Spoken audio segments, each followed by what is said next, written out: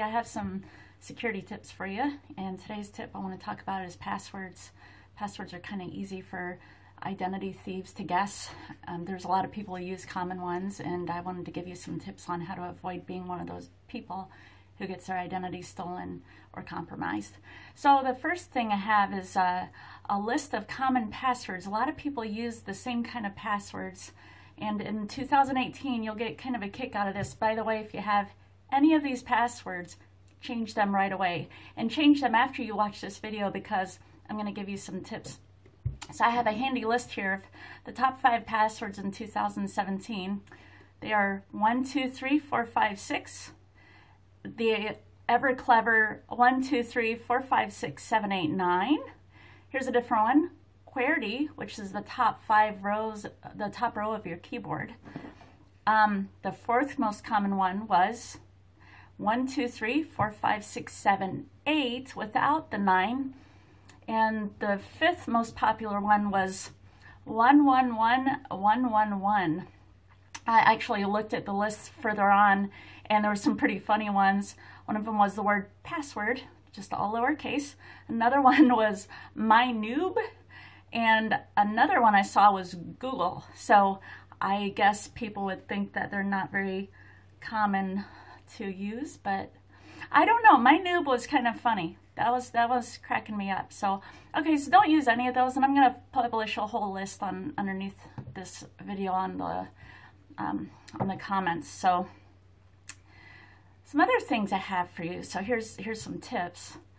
Is when you should change your password. You should change it once a year. I know that there's some networks and and rules that say to change it every three months, 120 days or what have you, but I don't know, are you going to remember it that much? You know, um, uh, one of the common problems is that a password, when it's changed that frequently, it's hard to keep track of, and you end up having no luck with getting into your accounts because of it, and you literally are locking yourself out of the internet, out of your bank accounts, out of your email, out of whatever, because you're just changing it too much.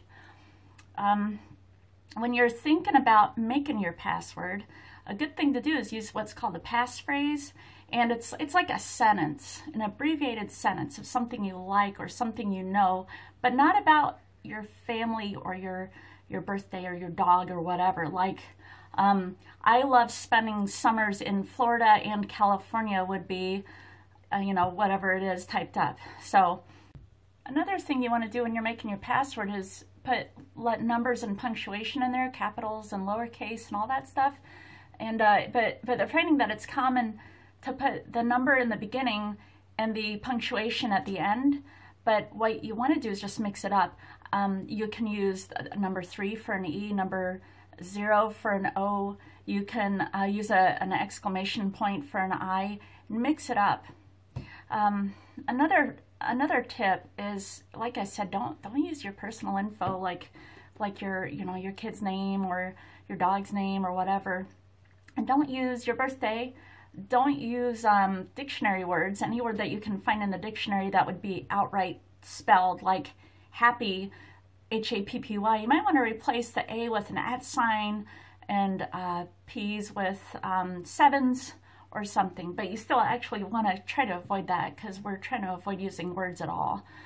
Another tip I have for you is, is how often to use your password. You don't want to use it on every single one of your social media, bank sites, email sites, and all that. You don't want to do that. You want to diversify at least a little bit. Um, so kind of spread it out a little bit different passwords for different things, maybe different types of things, different categories like financial stuff with your personal information, you definitely want to have a different password for each one of those. So you want to kind of disperse your password among your sites that you use. The last tip I have for you is, are you going to remember all these passwords? I wouldn't. It's not in the human nature to remember super complex sentences with all these little characters in them and stuff.